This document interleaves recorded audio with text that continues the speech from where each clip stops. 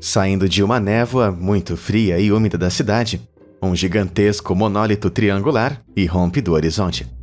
A cidade de blocos de apartamentos quadrados e de concreto abaixo não pode corresponder ao tamanho desse edifício de formato incrivelmente bizarro, com seu pico atingindo incríveis 330 metros de altura. Apesar dessa aparência meio agourenta, na verdade esse hotel é apenas um pouco mais alto do que a Torre Eiffel da França ou o Chrysler Building de Nova York.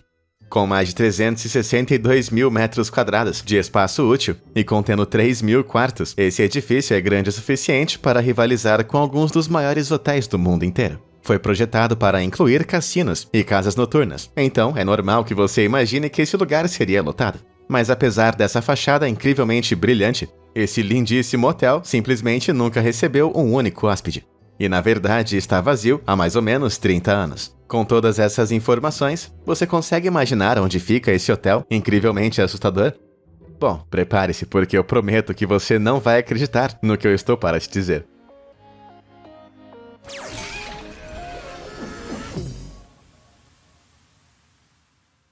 Será que você adivinhou algum lugar na América? Talvez uma cidade esquecida na Rússia. Talvez a China? Isso faria sentido, sendo as superpotências que esses países são. Mas não, esse hotel, na verdade, está em um dos países mais repressivos do mundo inteiro. A Coreia do Norte. É isso mesmo, esse é o Ryugyong Hotel e fica localizado na capital do país, Pyongyang.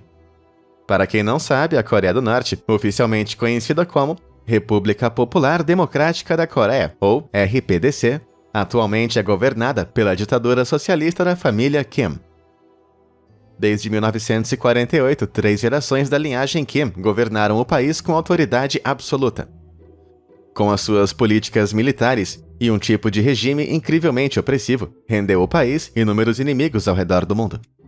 Por essas razões, a Coreia do Norte não tem as melhores relações comerciais ou turísticas com outros países por aí. De modo que recebe apenas mais ou menos 300 mil visitantes estrangeiros a cada ano. Isso pode parecer bastante, mas, comparado aos 17 milhões e 500 mil visitantes da Coreia do Sul, dificilmente é uma gota no oceano. Então, por que raios eles iriam precisar de um hotel com 3 mil quartos? Então, para entender o motivo, nós precisamos pular em nossa máquina do tempo e voltar até 1986. Mas tem um pequeno porém. Essa máquina em específico é alimentada por curtidas e inscrições no YouTube. Então, se você não fez isso ainda, não deixe de clicar nos botões abaixo. Tudo feito? Maravilha! Agora, onde será que vamos começar essa viagem do tempo? Aqui estamos, 1986. A Guerra Fria entre os Estados Unidos e a União Soviética ainda estava em andamento, e é claro que isso se estendeu até a Coreia.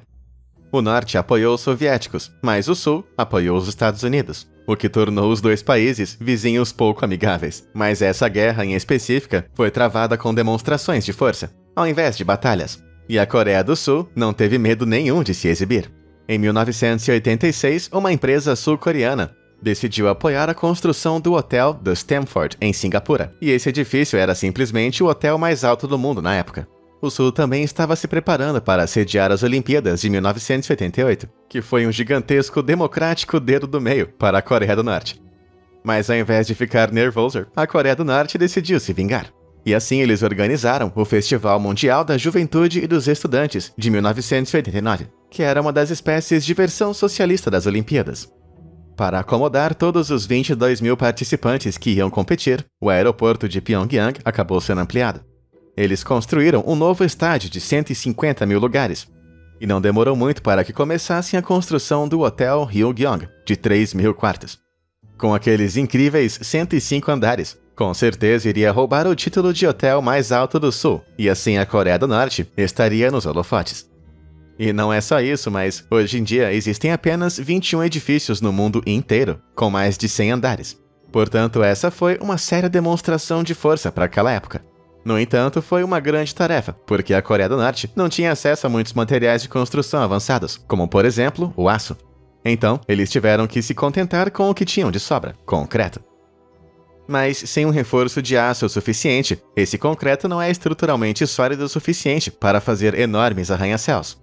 É por isso que foi projetado como um conjunto de três asas, cada uma delas inclinada a 75 graus. que se elevavam de uma base larga até um topo afilado. Todas elas convergem nos 15 andares superiores, que abrigariam restaurantes de classe mundial, um dos quais iria girar, além de vários decks de observação também. Se tudo corresse bem, esse seria simplesmente o maior orgulho arquitetônico da Coreia do Norte. Mas aquele se com certeza estava em letras maiúsculas e negrito. A construção começou em 1987, mas quando o festival começou, em 1989, o hotel simplesmente não estava nem perto de ser terminado. Eles disseram que problemas de engenharia atrasaram o projeto, mas que com certeza iria abrir em 92 para celebrar o 80 aniversário do líder supremo, Kim Il-sung. No entanto, em 1991, a União Soviética entrou em total colapso. E em 92, a economia da Coreia do Norte simplesmente despencou. O projeto foi interrompido devido à falta de fundos, deixando uma pirâmide de concreto inacabada e muito feia, assombrando o horizonte de Pyongyang não é bem um presente de aniversário que Kim Il-sung esperava. Para piorar a situação, os jornais japoneses revelaram que o prédio acabou custando à Coreia incríveis 750 milhões de dólares para ser construída. Naquela época, isso representava 2% do PIB do país. Caramba, eu acho que tudo que podia dar errado deu errado e piorou ainda mais. Era como se o projeto fosse amaldiçoado. E como qualquer boa maldição, ela iria durar por um bom tempo. Durante 16 anos, a estrutura incompleta permaneceu sem janelas, luminárias e sem nenhum tipo de ferragens. Até mesmo um velho guindaste de construção enferrujado preso em seu pico ficou muito corroído para ser usado. Eles poderiam ter demolido a estrutura, mas isso teria mostrado ao resto do mundo que eles não tinham dinheiro ou poder para terminar o que começaram. Isso era inaceitável.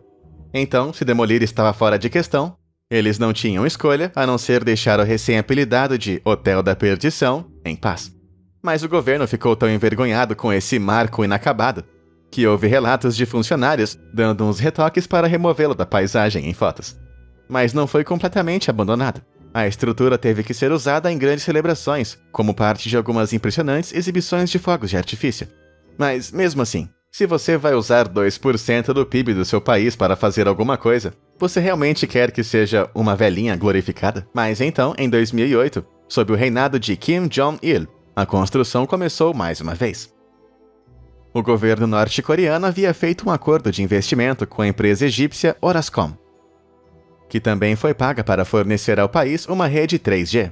Eles riram diante das alegações de maldição e fecharam um acordo no valor de 400 milhões de dólares, 180 dos quais iriam para a finalização do hotel gigantesco.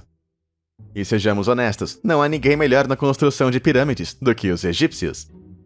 No entanto, na década de 90, um membro visitante da Câmara do Comércio Europeia, que conseguiu acesso ao canteiro de obras do lugar, afirmou que estava em um estado irreparável.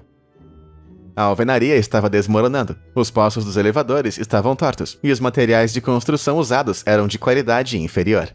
Mas, independente disso, a data de abertura nova de Ryongyong foi anunciada para 2012. Bem a tempo de marcar o centésimo aniversário do reinado eterno de Kim Il-sung. Parecia que a maldição finalmente estava acabando.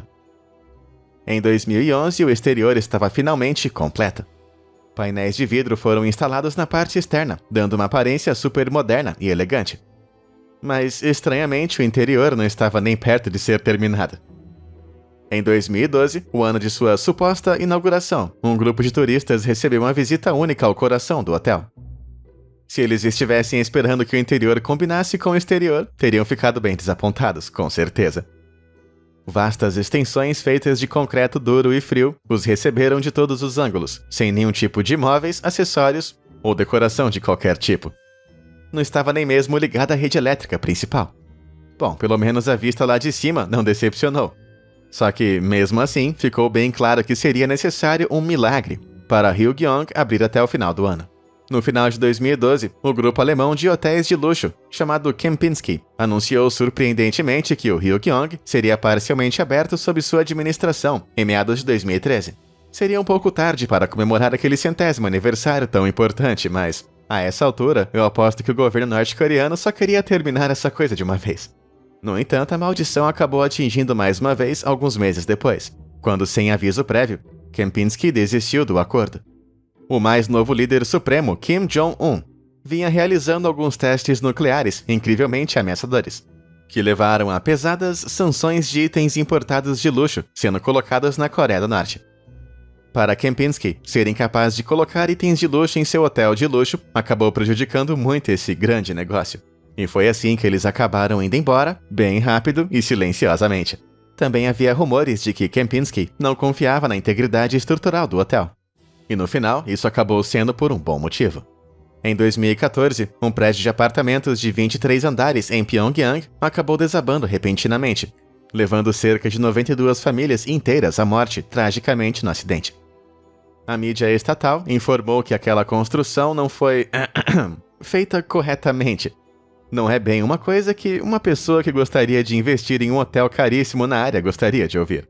Então, com a manobra nuclear de Kim e a crise de construção de Pyongyang assustando os investidores estrangeiros, o hotel permaneceu intocado durante mais três anos. Em 2017, mais ou menos 30 anos após o início da construção desse hotel destruidor de economias, ele ainda não estava aberto. Uma pequena onda de atividades foi vista no ano de 2016, com alguns quartos localizados no topo, de luzes acesas. Mas esse hotel amaldiçoado permaneceu fechado, e muitos acreditavam que o lugar não fosse abrir suas portas, enquanto outros perguntavam se estava secretamente sendo convertido em outra coisa, tipo um covil maligno, ou talvez um enorme parque aquático coberto. Bom, o que quer que eles tenham pensado, ainda está fechado. Mas foi então, em uma noite especial de 2018, que o topo daquele hotel de repente começou a explodir em cores lindas. Como um gigantesco farol vermelho na escuridão, a bandeira norte-coreana brilhava no topo da pirâmide daquele hotel gigantesco. Meses depois, toda a face frontal do Ryungyong também começou a se iluminar à noite, com uma variedade de imagens e vídeos curtos repetidos. Isso logo se tornou uma enorme e radiante máquina de propaganda à noite, exibindo um programa de 4 minutos em loop com a variedade de slogans políticos, enquanto o cone que ficava no topo projetava uma enorme bandeira norte-coreana. Ao que parece, ainda acende todas as noites entre as 19 e as 22 horas. Mas numa escuridão dessas, meio que se assemelha ao olho sempre atento de Sauron. Como se a Coreia do Norte já não fosse como Mordor o suficiente, né? Eu não ficaria surpreso se houvesse alguns hobbits por perto pedindo direções para o vulcão mais próximo. Mas espera lá, volta aí. Da onde exatamente vem essa tela de luz gigantesca? Acontece que uma enorme parede de luz, composta por mais de 100 mil LEDs ao todo, foi instalada secretamente e financiada pela Orascom. É, esses caras realmente sabem como fazer uma pirâmide de agradecimento. Agora, você deve estar se perguntando, qual é o motivo de, em duas ocasiões, a Orascom se oferecer para ajudar a construir um hotel, quando o negócio era principalmente para cobertura de rede 3G? Então, se você der uma olhadinha no Ryugyong, acontece que o topo do hotel tem algum tipo de torre de sinalização, que eu estou disposto a supor que com certeza pertence a Orascom. Embora alguns elementos do acordo tenham sido mantidos em sigilo, eles revelaram que investiram ainda mais dinheiro no hotel, que aparentemente vai ser reembolsado quando estiver operacional. Embora essa pequena parte do quando represente um pequeno problema porque o governo não colocou um dia de abertura para o hotel em seus calendários. Em 2019, uma nova placa foi postada com otimismo acima da entrada principal. Mas desde então, as portas permaneceram firmemente fechadas. Então, ao invés de roubar a coroa do hotel mais alto do mundo da Coreia do Sul, como era pretendido há muitos anos atrás, este lindo edifício está agora listado como o maior edifício desocupado do mundo no Guinness World Records. Agora, eu posso não estar vendo alguma coisa aqui, mas cobrir um hotel com luzes tão brilhantes dessas, que podem ser vistas em toda a cidade, não seria realmente uma distração para os futuros hóspedes que ficam nesses quartos? Além disso, o dinheiro que gastaram na parede de luz extravagante não teria sido melhor gasto, sei lá, completando o interior do prédio? Bom, depois de tudo isso, realmente não parece que o governo tenha planos de abrir isso como um hotel em funcionamento. Apesar do que aquela pequena placa diz na porta. Talvez eles tenham percebido que os custos de decoração de interiores seriam muito altos, especialmente considerando o número de visitantes que o país realmente recebe anualmente. E eu esqueci de um detalhe: isso foi antes da pandemia do Covid-19. Bom, se esse lugar gigantesco não abrir as suas portas em um futuro próximo, eu posso pensar em algumas coisas bem melhores que podem ser usadas além da propaganda. Ah, eu não sei você, mas imagina ver um filme nessa coisa. Ou então jogar algumas partidinhas de Mario Kart no Bad Boy de 105 andares. Você tem alguma outra ideia para o que poderia ser usado? Diz aí pra mim nos comentários abaixo. Tá, apesar das piadinhas, na verdade é uma tendência bem obscura que ainda não exploramos sobre o Ryugyong, o seu preço. Agora, esse valor de 750 milhões realmente pode não parecer muita coisa, considerando que arranha-céus como o Shard de Londres e o Burj Khalifa de Dubai custaram absurdos um bilhão e meio para serem construídos cada um. Mas o fato é que a maioria dos cidadãos da Coreia do Norte vive em uma extrema pobreza. Relatórios recentes sugerem que os cidadãos desse regime severo ganham apenas 4% da renda média de um sul-coreano. Isso é pouco mais de 99 dólares por mês. Embora a taxa de crescimento econômico do país esteja melhorando, os especialistas acreditam que a renda média de um norte-coreano, na verdade, está diminuindo. Isso acontece porque os governantes do reino eremita estão muito mais preocupados em gastar o dinheiro todo com, por exemplo, militares, armas nucleares e também estruturas estranhamente ostensivas. Isso com toda certeza exibe poder e muita confiança para o mundo lá fora, ao custo de seu povo. Agora, se os Estados Unidos de repente afirmassem que vão gastar 2% do PIB em um hotel, com certeza haveria indignação. Agora, concedido, o PIB da América é significativamente maior do que o da Coreia, em aproximadamente 21 trilhões de dólares. E 2% disso seriam incríveis 420 bilhões. Com essa grana, eles podiam construir o One World Center 1335 vezes, e provavelmente poderiam transformar todo o Central Park em um enorme arranha-céu. Ah, com certeza iria enviar uma mensagem para o resto do mundo, mas não acho que as pessoas dos Estados Unidos ficariam muito felizes com isso. Principalmente se o lugar permanecesse totalmente vazio depois de todo esse investimento. Isso que eu chamo de desperdício de dinheiro e de espaço. Ok, tirando isso, se caso você fosse visitar a Coreia do Norte, na sua opinião, como você acha que seria um hotel no país menos acolhedor do mundo? Bom, na verdade existem cerca de oito hotéis em funcionamento em Pyongyang, e todos são incrivelmente semelhantes. A decoração lembra os anos 1950 e 60. As salas de jantar são gigantescas e quase vazias. As escadas e corredores são bem escuras. A luz cai com bastante frequência, não são nada convidativos. Mas a coisa mais estranha de todas, de longe, são essas pequenas máquinas enigmáticas embutidas nas cabeceiras das camas. Talvez façam parte do sistema telefônico, ou talvez um rádio. O que você acha? Eu vou deixar você adivinhar porque acho que eu nunca vou ter coragem de visitar esse lugar para descobrir.